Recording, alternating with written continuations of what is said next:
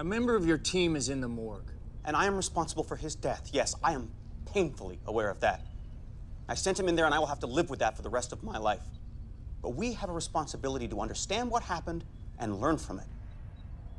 We open up with Sheppard's team scouting a planet they found in the Atlantis database that's supposed to be populated by Dorandans. Unfortunately, they don't detect any life signs, but to their surprise, they find an enormous amount of space wreckage in orbit around the planet, including a Wraith Hive ship. Which is kind of weird because if the debris were in stable orbit, it would surely have spread out more around the planet over 10,000 years and wouldn't be this concentrated in one place.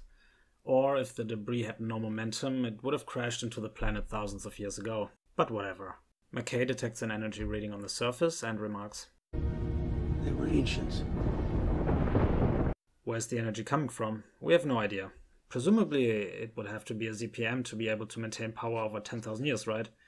It never gets answered, and later we see McKay just power up the outpost effortlessly. Right, you're, you're gonna need to be a little more specific. Then we see a massive turret like weapon mounted on said outpost, and Sheppard's team enter it. They discover that the interior is in surprisingly good condition, but also find a few bodies here and there, which already raises questions about what happened here. After McKay powers up the station and asks what Sheppard just asked him a second ago, This is a nation outpost. Why would the Wraith leave it intact? We see Sheppard's team back at Atlantis reporting their findings to Weir in form of a pretty well done and concise exposition. In just under one minute, we recap everything our characters know. It's a military research facility, and the weapon is similar to the satellite based weapon that we saw in Season 1, but with the firepower to take on an entire Wraith fleet. And we learn of the importance of further researching it, but also about the reservations our characters have, because there are still open questions about the whole thing that even McKay can't answer yet. And that means, uh, well, I'm not sure what that means, but it means something definitely worth finding out. In an effort to answer these questions, Sheppard and McKay return to Doranda with Zelenka and the science team. After a bit of researching, McKay and Zelenka report that the weapon is actually not the most valuable asset here, but its power source, called Project Arcturus, and that it would change the future of humanity as. The greatest discovery of all time. Back at Atlantis again, McKay and Zelenka explain to Weir and Caldwell the specifics of the technology, which works similar to the ZPM but on a bigger scale. And that an unknown major malfunction occurred in the past which led the ancients to abandon this technology. Despite this, they managed to convince Weir that they would be able to finish the project. And you believe you can finish their work? I do. We do. They do. During the whole discussion, McKay can barely contain his excitement and downplays the potential risks and disparages the ancients and their competence, which is understandable because his experience with ancients hasn't been that great. They kept a deadly nanovirus in a lab without proper warning signs that almost killed many people on Atlantis, and their strict rules after Ascension prevented using Proculus as a refuge. Additionally, McKay is someone who doesn't really trust other people and their competence, even if he undoubtedly respects them and that doesn't exclude the ancients. He is an inherently paranoid and suspicious person, and this leads to him ignoring other people's opinions in favor of his own logical rationalizations. And his ego just magnifies this issue. Back at Doranda, we get a montage of the scientists working, and a while later, they seem to be ready for the first test. Right after commencing the test, Zelenka picks up some minor issues, but McKay assures that everything is under control. At this point, Sheppard already suggests to abort the test because of these unforeseen problems, but McKay orders Collins, a fellow scientist, to try and manually fix the issue by sending him to a control panel that's adjacent to the hazardous containment area.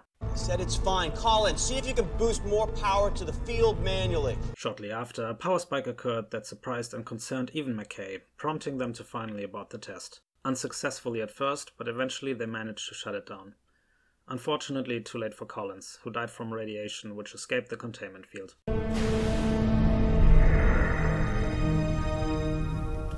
Back at Atlantis, people try to find out what happened, but the only thing McKay knows is In terms of physics, it shouldn't have happened. Weir shuts the project down, but despite or maybe because of all that happened, McKay is more committed than before to find out what went wrong. Plagued by his guilt, he approaches Sheppard to try and convince him to convince Weir to start the project back up. He appeals to him by saying he wants to make Collins' death mean something. Collins' death is a pointless waste of life unless something comes of this, and I am not sure that I can. And continues with his assertion that the ancients made a mistake in their calculations, and that he found his own solution. The ancients had it wrong. Our mistake was using their equations. Look, I just did the calculations again myself. I did them three times just to be sure, and I am positive the problem is in the automatic containment protocol. Here we get to another important aspect of McKay's character. Many people would say that McKay is the smartest person in two galaxies, but unfortunately he lacks the wisdom to apply his intellect prudently, which he seems to be painfully aware of. Music was my salvation. It had this perfect order for me. When I was 12, my teacher told me to quit. A fine clinical player, he said, but no sense of the art whatsoever. I turned to science because I thought it would be different than music, but it isn't. It's just the same. It's just as much of an art as anything else. You're an artist, Major. Maybe the best I've ever seen. I'm just critical because I'm jealous. And combined with his immense sense of duty towards science, but also his colleagues and home planet, this leads to him taking great risks for their advancement and safety, which we have seen in the past. We send a massive EM pulse back through the wormhole, knock out whatever it is that's making this happen on the other end. Will that work? No, sir. I already thought of it, and the reason I didn't mention it is because it is far too problematic. More so than the gate exploding? The iris would have to be open. Well, the gate room's shielded, isn't it? In this case, he even gambles the trust of one of his closest friends. Because Sheppard isn't buying into any of his arguments yet, as a last resort, he asks Sheppard to trust him. One could even theorize that he's purposefully overconfident in this case, because as he says, The risks are nothing compared to the potential benefits. I have never asked this of you before, but I think I've earned it. Trust me. and so he might knowingly put his life and reputation on the line for the small chance to benefit humanity. Nevertheless, this leads to Sheppard actually taking McKay's side, and so we see him and Caldwell in Weir's office trying to convince her to resume Project Arcturus. While Weir argues that McKay might be in over his head and elevates the ancients to some kind of omniscient beings, Caldwell is actually willing to put his trust in McKay and accuses Weir of putting the ancients on a pedestal. Both sides are understandable, but ultimately these arguments are just a facade. Whether Caldwell really believes in McKay's abilities or Weir actually believes the ancients to be infallible is irrelevant, since their true motivations lie elsewhere. Weir is not ready to take the unknown risk and endanger any more her people.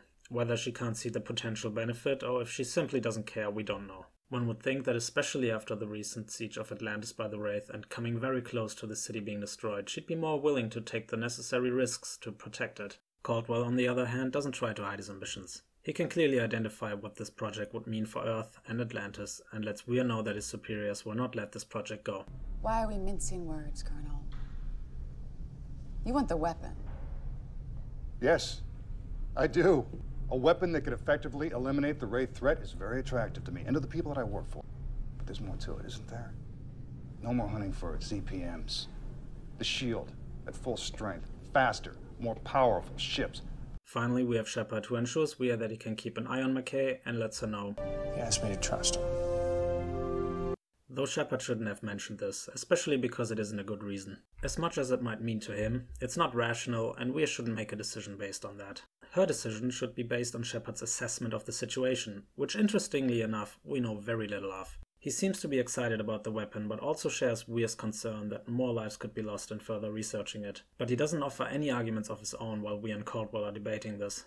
Ultimately, he doesn't seem to have a strong opinion either way, which is pretty disappointing. Finally, Weir concedes, probably because she knows that eventually this decision will be out of her hands, and at least now she can still do it her way. So McKay and Sheppard return to Doranda alone this time to resume the project. Emboldened by that fact, McKay cracks a few confident jokes, which leaves Sheppard quite unimpressed and maybe even considering if he made the right choice after all. How about I carry out my plan and you keep the hot coffee coming? Said joking again, right? Shortly after, we see Atlantis making contact with the two, and Weir and Zelenka expressing their newly discovered doubts that the project could ever work. But this close to the finish line, McKay is unwilling to listen to any concerns and even lashes out at Zelenka. As a friend, I have serious doubts. Well, you're wrong. I'm sorry, but there it is. And to bring this up now when I'm just about to do this smacks of nothing but professional jealousy. They explain how the weapon killed everyone on Doranda when it got out of control, but McKay doesn't back down. I don't know how else to say this, but none of you are capable of understanding this on the same level that I do. And in Zelenka, that includes you. At this point, he is so convinced by his rationalizations and logical conclusions that he simply cannot imagine being wrong. Because if he'd be wrong, the science would be wrong. He just can't envision that his understanding of the physics is not sufficient in this case. He is all in on this. Can you do this? Yes. Are you sure? Yes. Are you sure you're sure? I said yes. Because if you're wrong, I'm not. Why Weir and Sheppard ignore Zelenka's warnings and still allow this to continue is unknown and pretty questionable. But they do, and so McKay begins the test. They bring the reactor and the weapon online, and immediately after, the software registers an energy variation, which McKay tries to compensate for manually as planned. But as things seem to escalate, McKay is faced again with the terrifying realization that he's not in control anymore. There is no logical reason this shouldn't be working. Okay. None of this should be happening. Look, the energy levels are spiking at a rate far greater than anything I predicted. Shut it down! Regrettably, they decide to shut everything down again, but this time they are not destined to be as lucky. And as the power builds up uncontrollably inside the reactor, the weapon starts firing indiscriminately at anything in range. McKay still tries desperately to shut the reactor down, but Sheppard tries to stop him and abandon everything, and we get one of Flanigan's best scenes and line deliveries in the show, in my opinion. No, you can't! One second! I've seen this before, Rodney. Pilots who wouldn't eject when something went wrong, trying to fix their planes right until it hit the ground. We really get a sense of dread that something he has witnessed countless of times before might happen again, but this time he's in a position to do something about it. So we see him get a bit forceful, and one might even get the impression that he's ready to drag McKay to the jumper if he keeps refusing to comply. Fortunately for the characters, but unfortunately for us, it doesn't come to that, because McKay realizes that the energy buildup is escalating beyond the point of no return, and that a disaster is about to happen. Okay, we need to leave. I've waited too long. The weapon can't discharge enough power to avoid a catastrophic overload. This whole planet's gonna go up. Not that your speech wasn't working. They quickly board the jumper and they try to escape to the Stargate before the solar system gets destroyed. After Sheppard skillfully dodges the energy blasts, we get a quick shot of the Daedalus coming to our hero's rescue, and so they manage to escape before the Daedalus enters hyperspace. The only question here is, why didn't Sheppard try to activate the cloak? Back at Atlantis, we see Teyla and Ronon come back from their travel, and in the background we can hear Weir tearing McKay a new one. I tried my best to identify what's being said. In the aftermath, we see Sheppard trying to avoid McKay, who has been trying to track him down to apologize to him. After unsuccessfully trying to break the ice with another joke, we get a sense of sincere regret about how things turned out. Honestly, I would I would hate to think that recent events might have permanently dimmed your faith in my abilities or your trust. Sheppard doesn't hesitate to let him know about his disappointment, but finishes with a comforting statement that he fully believes his trust can be re earned in the future, which leaves McKay optimistic. This episode is mainly filled with character conflict, exploring their personalities, their relationships, and motivations.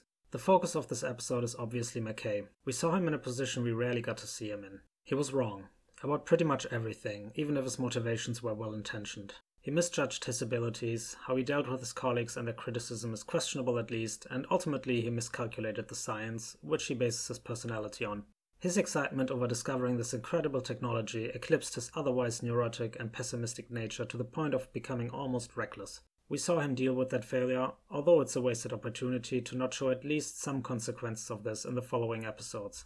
We saw him deal with the loss of life that he indirectly caused, how he responds to a situation like that, and what his thought process was to try and make the tragedy count. We also see the lengths he's willing to go to to fight for something he believes in. We've always known that he's willing to endanger his own life to save others, but in this case he was risking his life simply to honor someone else's death.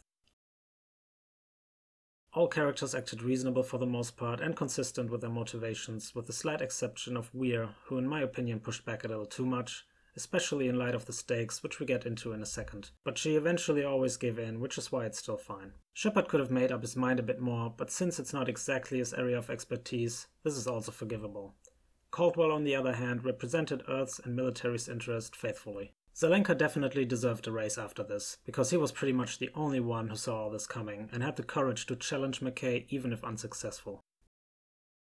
The stakes were very high for this episode. Atlantis barely survived the last Wraith siege, and they don't know how long this ruse of cloaking the city will last. The most innocent mistake could give their existence away, and they would be fighting for their survival again. Meanwhile, in the Milky Way galaxy, the Ori became a serious threat, and even though at this point the military doesn't know how serious yet, based on the Prior's capabilities, they have every reason to believe they will need any technological advantage they can find. And very, very soon, if they don't know already, they would find out that the Ori have the capability to construct supergates across galaxies, because the episode Beachhead aired on the same day as Trinity, August 19, 2005.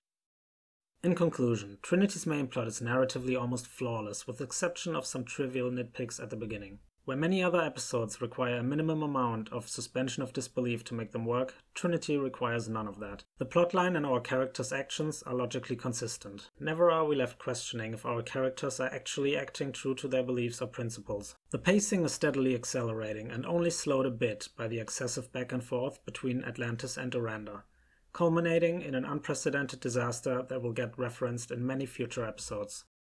The themes are for the most part serious, but also leave room for tasteful quips and jokes that bring much needed relief from the increasingly tragic undertone. Trinity proves that great science fiction doesn't necessarily need to rely upon tense shootouts or big scale spaceship battles. In my opinion, there are only very few episodes in the Stargate franchise that achieve their intended goal in a more professional and satisfying way.